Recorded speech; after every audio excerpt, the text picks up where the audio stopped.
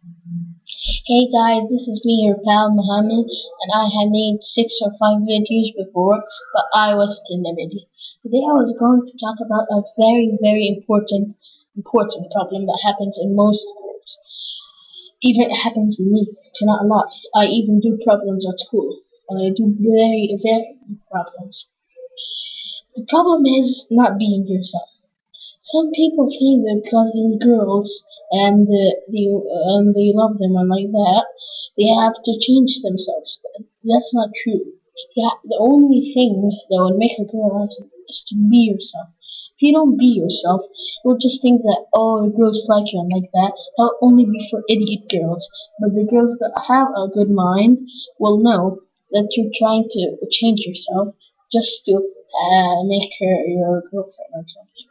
That's not good. The only thing you have to be in the world and take care of is being yourself, or else you'll be a very bad person in the future. Thank you, see Elsa Alta.